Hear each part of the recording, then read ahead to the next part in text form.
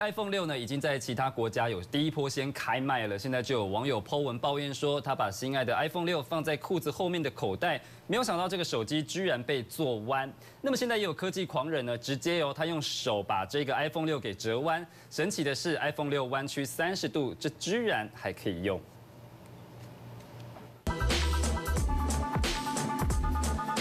果粉看到这一幕，心都快碎了。这位仁兄大拇指死命压，压到手指都发红，就是要把 iPhone 六给弄弯。This was painful to do, but for the sake of science，恶搞行为却说要帮大家做实验，原因就是。